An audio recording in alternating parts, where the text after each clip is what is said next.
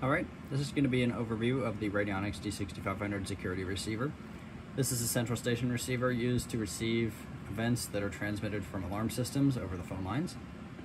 So this is the second receiver that Radionics Inc. produced. So first one being the D6000 Omega alarm receiver up here, which I did a demonstration on previously. And the third being the Radionics D6600 right here, which is still very much a new receiver, yet it was discontinued just pretty recently actually. But these support IP reporting and all that, but now we're gonna go over the 6500 receiver. In terms of hardware, it is a 4U piece of equipment and very long, as you can see here. We have eight telco line cards installed. We have the CPU card and the power supply card, and we have a printer over here. So in terms of LEDs and the line cards, the top LED, which is red, which I'm actually going to increase my brightness so you can see this a little bit better. That indicates that there's a trouble on the line if it's solid. So if you unplug the phone line, that'll become solid and generate a trouble event. And it also flashes every time the line card is pulled by the CPU. The ring light below it lights up whenever the phone line is ringing. And we have this button here, which has two lights on it. The one on the left is green, and that indicates the line card is online or busy. And it flickers as data is received from the panel. The one on the right indicates a listen-in session is active on the line card, and you can press the button to either select it for listen-in, or if you are already having it selected, you can press it to cancel the listen listen-in session. On the right, on the CPU card, the top LED is the system LED, and that lights up whenever the internal event buffer is almost full. So if your automation system and your printer are not keeping up with the events you have coming in and the buffer almost is full, that'll come on. And the PNTR LED comes on whenever there's an issue with the printer. Over here on the power supply card, we have the AC power LED. That's solid when AC is present and it flashes when AC is not present. Uh, so if you have a power failure, that'll flash. Battery light is on whenever the battery is low or missing, and I don't have a battery installed, so that's on. We have the silence button on that power supply card. That silences the internal buzzer. We have the test button on the CPU card, and that generates a test event. Uh, right above it, we have the talk button, which was for the listen in, which they were going to implement two-way voice on this receiver, but they released the 6600 before they got that finished. So those, the talk button and the microphone jack do not work. However, in terms of listen in, there's the speaker, there's the jack to connect headphones, and a volume control. Listen in is supported. On the printer, we have this little switch here which sets whether or not the printer is enabled. And over here we have a switch that selects the operation of the spool down here. So this printer prints uh, from the blank paper here, goes around, and gets automatically spooled back up. If this switch is in the middle, it automatically spools it as it prints it. Uh, you can flip it up, and now it will not spool at all, so you'll have to manually wind it. And you can also push it down momentarily to force it to spool. This paper is the silverized paper that older equipment used. Not entirely sure how it works, but it uh, it's not thermal and it doesn't use ink. It effectively burns it into the paper with electricity. You'll see the little print head is in there. Um, in terms of receiving events, I'm going to be demonstrating it with a Radionics 9412 panel, which I have set up, and we're going to be sending in modem 3 format. This receiver supports pulse formats, and it supports modem 3 and modem 2 and BFSK. Um, on the older line cards, that's all the formats you get, but on the newer line card, the D6541, that also adds support for DTMF formats like Contact ID and Ademco Express, FBI Superfast, Scancom, formats like that. Um, I have first line cards here, lines 1 and 2, those are 6541 cards, the rest are 6540s. So if we go over to the receiver, or not the receiver, the panel over here, this is a Radionics 9412, which I have set up in here. Excuse the mess. That's what I'm going to be using to demonstrate sending reports. I have the receiver set up so that the buzzer only activates whenever an alarm or a trouble or any other exception event occurs. Otherwise, the buzzer will be silenced and the event will just be processed silently. It's in automatic mode. Manual mode operates just the same as manual mode on the 6000 receiver does.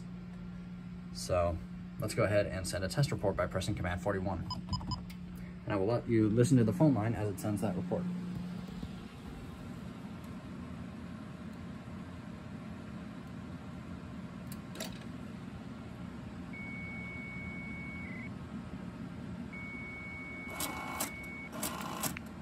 There we go. So you saw that it printed it automatically, displayed the event on the display momentarily, and you heard the modem 3 reporting. Modem 2 and modem 3 were both implemented with the 6500 receiver, and modem 3 is one of the more superior formats now. It was the first one to introduce sending of the zone text or the user text that's programmed into the panel to the central station. So, that was just a test report, which buzzer did not sound because it was not an exception event. And while I'm at it, I'll show the test button here. So if you press this test button, it will generate a test event just internal to the receiver, which shows up as account 0888 test zone 8. Just like that. And now, unlike the 6600 where you can just view it from memory, if we wanted to look back in the log, we'd have to look at the actual printout here, which doesn't show up very well on camera. So now what I'll do is I will arm the system over there and then set it off. Let's go ahead and arm the panel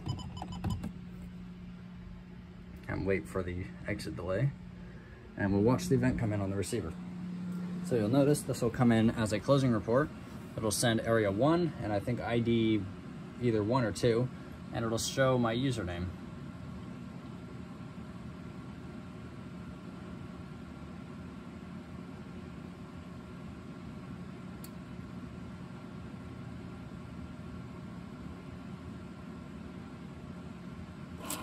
Closing report, area 1, ID 1, my name. And that was very fast modem 3 reporting. Now if we go back over here, and I'm going to set it off by opening the door and then not disarming it in time.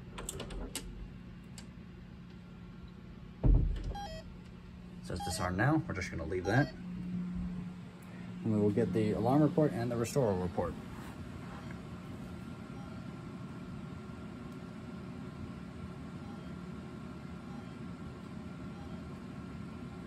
There we go. It's an alarm. I have that zone programmed to silent bell, so the keypad isn't going to scream.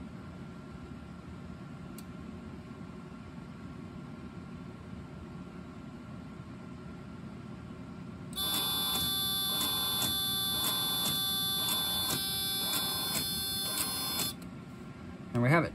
You saw that was uh, sent the zone name, alarm report, and a restore report and the buzzer activated because that's an exception event that doesn't just get logged. That would actually sound the buzzer because it's an alarm.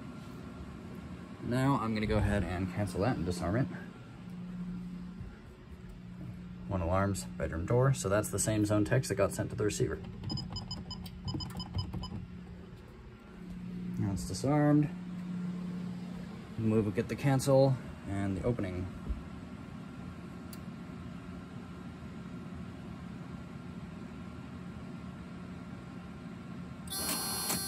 cancel alarm, my name, opening report, and the expanded data. And you notice when it sends an expanded expanded data for a report, it shows plus plus plus the account number, then the expanded data.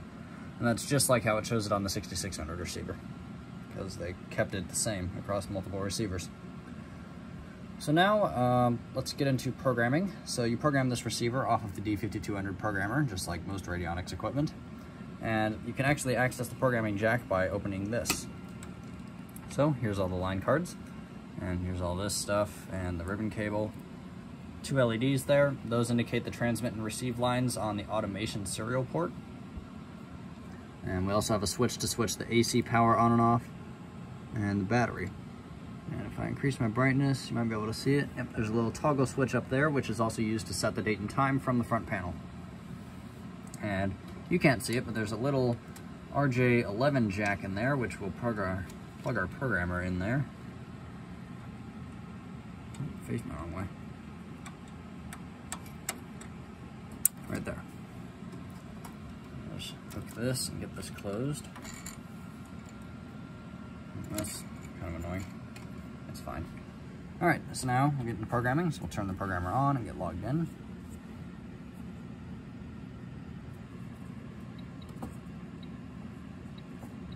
Really hard to do one-handed. Now we're going to use the 6500 handler for this purpose, as expected.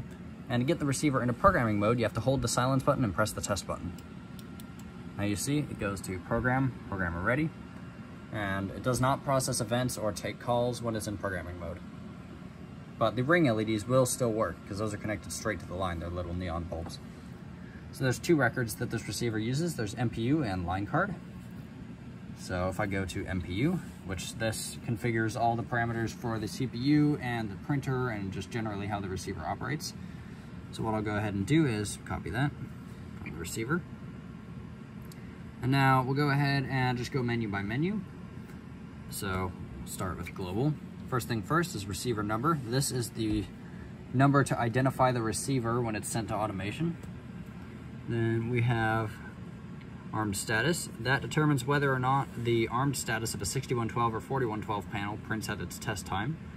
So those panels sent the whether or not the system is armed to the receiver when they send their automatic test report. This determines if that prints or not. So if you're not using that data, you just set that to no.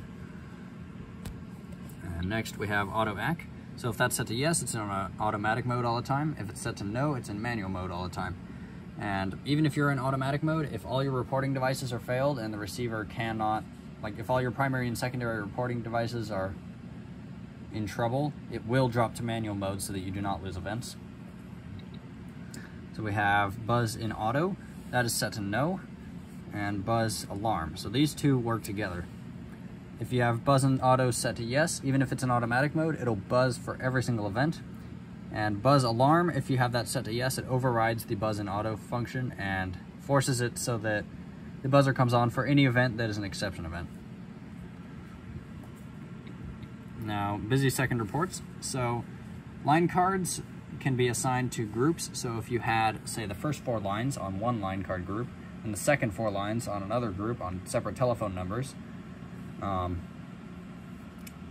and all four of them were busy, that indicates that no more calls can be taken on that group.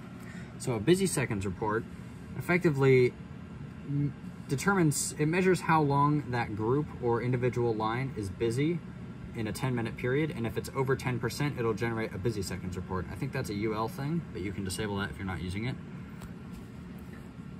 And call blocking. So you noticed as events were reported to the receiver, it printed and displayed them live. If you have call blocking enabled, which is how it is by default, which is annoying, um, it will wait for all the events to come in first, then print them all in one big block. Point slash user text, that determines whether or not the receiver actually prints the zone or user text that's sent on modem 3 format. So if you're not using it, you can set it to no to save paper. Time set enable, that enables setting the date and time from the front using that little switch that was internal. Time set report, that sets whether or not the receiver is going to generate a report for the time being changed. Power supervision and reports. So um, you notice it doesn't show any trouble for my battery being low or missing. That's because I have this set to no. If I had that set to yes, it'll generate a report and show a trouble on the display for any condition where the battery is low or restores, and same with the AC power. Next option, receiver number. Okay, so done with that menu. Now, I was talking about line card groups, so this is where you assign which line cards are part of which groups. You can have up to eight groups within the receiver. So currently I have line card 1 set on group 1 and all the others on group 2. Line card supervision. So if a line card is unsupervised, that basically means it's disabled. The receiver is never going to get any events from it because it's not pulling it. So if you're not using line cards, you set them to no in here. Internal printer sets the configuration for the internal printer. So this printer right here, uh, we have two options, device and supervision. So these two options will show up in every reporting device. So device basically indicates how it operates. So we have four options. We have primary, secondary, always on, and always off. Primary indicates this is a primary reporting method. So if you had an automation system connected, you would set it to primary. Secondary indicates is a secondary reporting method, so it'll only get events sent to it if all the primary devices have failed. Always on indicates the receiver is going to send events to it no matter what. Always off means it's disabled and it's never going to get events sent to it. Supervision, so if that's set to yes, the receiver is supervising that device. Otherwise, it does not. So if my printer ran out of paper and it was set to no on this option, it would not generate any report or trouble condition. That's the internal printer. The external printer configures the external printer as you would expect. It's got a DB25 on the back for an external serial printer. So we have the device and supervision options, which those will be common across all of them. X on slash X off determines whether or not the external printer is capable of using those X on slash X off characters for uh, flow control. CR slash LF, so that appends a LF character to the end of every report, but if your printer automatically line feeds after a carriage return, you'll set this to no. Parity determines whether or not you're using parity on the printer, so you have no, even, or odd. I would set to no. Baud rate is the baud rate. Data bits is the data bits. And back to device. So automation configuration, we have output format, that's set to 6500, so there's either 6500 mode or SIA mode.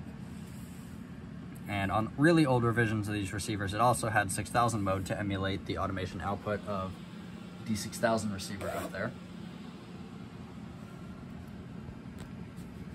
So we either have 6500 or SIA in the new ones. Uh, device and supervision, same as usual. Group reporting. So if you have group reporting set to yes, it'll report the line group. So if you had lines one through four assigned to group one, and a report came in on line four, it would come in as group one if you had group reporting set to yes. Otherwise, if you have it set to no, it reports the line number. So that's yes or no. BFSK fire bit. So BFSK reports, same with modem 2 reports, can differentiate between fire and non-fire events. So that was the thing with older reporting formats. If your automation software did not support uh, having an event show as a fire event based on what the receiver sends, you would set that to no so it doesn't send that special event type. Modem 2E fire, same thing, except for modem 2E format. SIA fire restore, I believe that is similar where it sets whether or not a fire restoral is sent as a regular restoral or as an actual fire restoral. And ignore the printer noise, that's the 60 that's the 6600 processing events.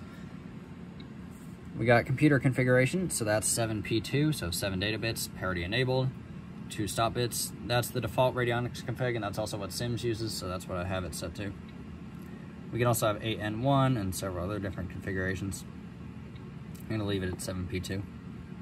Computer parity, so that sets what type of parity it'll be. It'll, it'll be either be even, odd, zero fixed, or one fixed. Baud rate's the baud rate. Handshaking, so that can be either ACK or no. So if you have it set to ACK, the receiver expects a acknowledgement character back from the automation system after every event. Otherwise, it'll just send it and assume the automation system got it, assuming that um, hardware flow control is still enabled. NAK character and ACK character, so you can customize what those values are if you needed to have them different for your software. Trailer character, that determines the uh, the last character in a 6500 mode output, you can change what that character is. Automation wait determines how long the receiver waits after sending an event to the automation system uh, before resending it or assuming it's in trouble. So if your system was slower at processing reports, you could set that time higher. 6500 header character, that's usually disabled, which it is right now. But if your automation system required a header character for 6500 mode, you could enable that right there. And input commands determines whether or not the receiver responds to commands sent to it from automation. So you can set the time and date and determine which line is selected for listening and a few other things, I believe. So if you wanted that disabled, you could set that to no. And link test, if that's enabled, uh, allows the receiver to send a heartbeat packet to automation on a periodic basis. So if in your automation system, if you ever saw the receiver stop sending that, you would know that that's one way to supervise whether the receiver is working or not. Packet separator determines whether or not a final packet separator will be sent in uh, SIA output mode. If you set that to no, it'll just close it with the closing bracket character.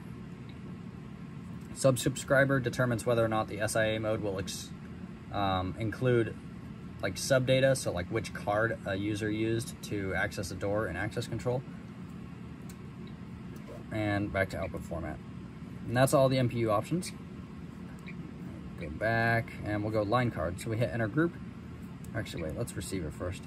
So when we do receive, uh, it's gonna ask receive from line card. Now, This almost implies that it's going to receive it from particular line card 1 if I set 1, but this is actually going to receive it from a group. So you set the line card configuration based on the group. So all the line cards in group 1 will have the same configuration that you send to group 1. And all that is stored in the CPU card, so if you hot swapped a line card, it would automatically get the new configuration value sent to it from the CPU. So we're going to actually receive it from line card group number 1. Now first is ACK tones. So this sets your the order of which acknowledgement tones are sent on the phone line, which I'll let you listen to that, but first is modem 2E slash 3A2. Uh, dual tone is the two-tone handshake used for contact ID and a whole bunch of other DTMF formats. 2300 hertz and 1400 hertz, standard pulse handshakes. Modem 2 and modem 2. The reason I have that in there twice is because Radionics recommends that you send it twice in a row. And tone duration is setting how long the pulse acknowledgement tones are. So 10 is one second. Now you can also set end of table, which that makes it stop at a certain value. So if you only wanted one ACK tone, you'd set uh, number two to end of table. Set that back to modem two. So now I'm gonna call the receiver on a phone so you can listen to those acknowledgement tones in order.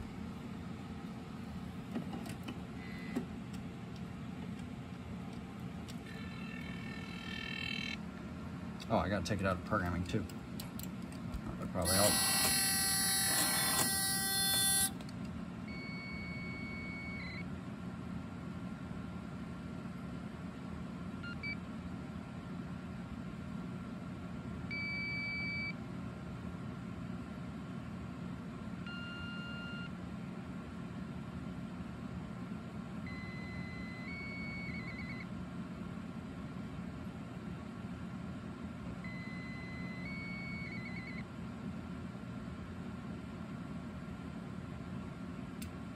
There we go. Since it didn't get any data, it just hung up the line and didn't generate any event. I'll put it back into programming mode now. Okay, so that was the acknowledgement tones, phone supervision. So currently on my second line group, I have this option disabled, but line slip, or line slip, line sniff determines whether or not the receiver actually supervises the telephone line. So if you have that set to no when you unplug the phone line, it will not generate a trouble event. Now, pulse errors, the receiver is capable of sending expanded data for, um, if you have a panel reporting in pulse format and it doesn't get through for whatever reason, it'll actually send you um, out the printer and to automation special data indicating uh, what the last digit received and what kind of error it was. If your automation system doesn't report, doesn't support that, you can set it to no. Auto answer ring count, I have that set to zero. And uh, if you had special equipment on the line back then that captured caller ID data, because this is before the receivers were capable of doing it themselves, you would set that to a higher value so that it, it, it would actually let you capture that data. And that's back to line sniff. And line formats. So this determines how the receiver interprets an event based on the number of digits it sends. So this applies to both um, DTMF and pulse formats. Five digit is set to three plus one checksum. That can also be 3 plus 2 double round and 4 plus 1 double round. Uh, 6 digit is set to 4 plus 2 double round. This can either be that or 3 plus 2 checksum. Yeah. And I'm going to keep it at, oh, it's also got 4 plus 1 checksum. Keep it at 4 plus 2 double round. And 8 digit, that doesn't apply to pulse. It only is for DTMF. That determines whether or not it is 4 plus 1 express, so that's the ADEMCO express format or DSC 4 plus 3 checksum. We're going to use 4 plus 1 express. Timing adjustments, so this lets you adjust the different timing parameters for the line card. So the ACK wait is how long it waits um, after sending an acknowledgement tone before going on to the next one. So if your panel was slower at sending data after it hears the handshake or the ACK tone, you would increase this value so the receiver doesn't move on to the next one uh, before your panel sends the data and 30 is meaning it's set to three seconds. Round wait is how long the receiver will wait before um, for another round of digits to arrive before interpreting the report. So that would be, I think that's, I think, I think that's 4.2 seconds in my case. I'm trying to remember what the multiplier for that one is. Modem time is an option you shouldn't have to ever change, and it was never documented, but what it does is, is it changes um, on modem 3 and modem 2 handshake tones, it has the modem carrier there for a little bit of time before sending data. That changes that amount of time. So if you increase that value, it'll sit idle for longer before actually sending data. And you shouldn't have to change that, as I said. 3 plus 1, 10 cycle. So 10 pulse per second formats are obviously a lot slower than 20 and 40 pulses per second. So this is for pulse. If you have this set to yes, the receiver actually measures the pulse width of the um, data it's receiving to determine the speed. So uh, sometimes you'll have to set that to yes for it to actually properly decode 10 pulses per second reports. If you have it set to no, it relies on the other timing parameters, which I'll show you. Pulse plus percent and minus percent, those were also undocumented and I haven't figured out what they do yet. If I were to take a guess, it would determine how long a tone has to be present or absent before it's considered present or absent to avoid uh, noise on the phone line from causing falsing. Digit threshold, so that is how long the receiver waits for another digit to come in. And 10 is one second in my case, so that determines how long it waits for another digit before interpreting the signal. And back to ACK wait. Next thing is listen in. So listen in is that feature where it can uh, connect the phone line to a speaker and keep it off hook for some time after the panel sends a report so that you could have a microphone on site listening. So duration sets how many minutes that this is, that it stays online for listening after it receives an alarm. Um, this is set to one minute in my case, but it is overridden if you're using BFSK or modem format. That's determined in the panel. Now, obviously not every single account is going to be using listen-in, so what you do is you define a block of account numbers that uh, use it. So my starting digit is B and my ending digit is F. So accounts B000 and B00 through FFFF and FFF are set up for listen-in accounts. Now if I said, now if I set that to B and C, it would be B000 through CFFF and B00 through CFF. So it lets you set which block of accounts you're using for listening. Refresh is an option used in modem and BFSK formats that allows the panel to actually send a refresh packet to the receiver, which I haven't gotten that working yet, but what it does is it lets it extend the duration again.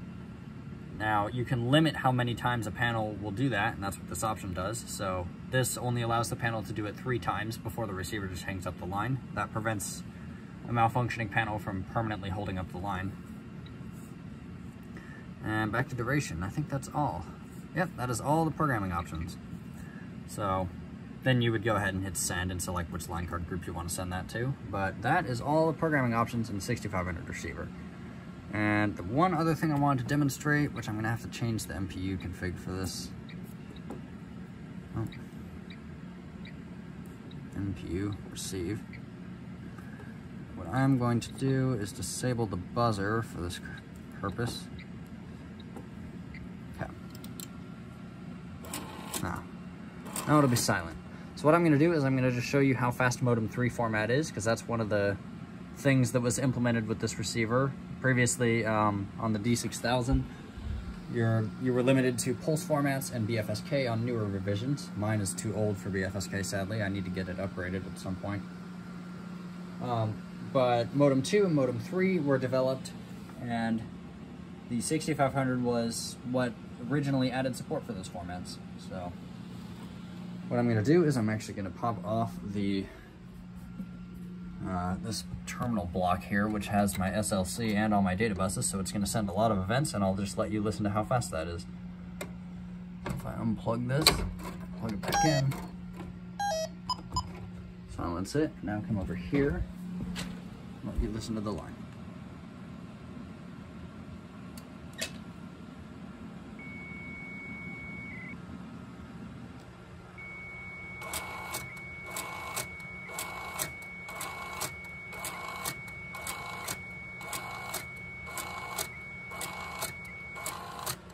There we have it. So that was a lot of events, as you can see. And you see that it buffered it because this printer is not as fast as how fast the panel is able to report it. And there we go.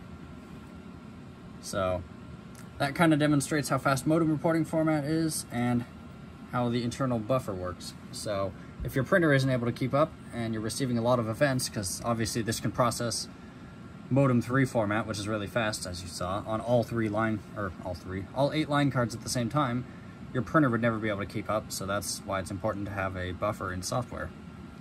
But that's my overview of the 6500 receiver. If you have any questions, just let me know. And yeah, that's it.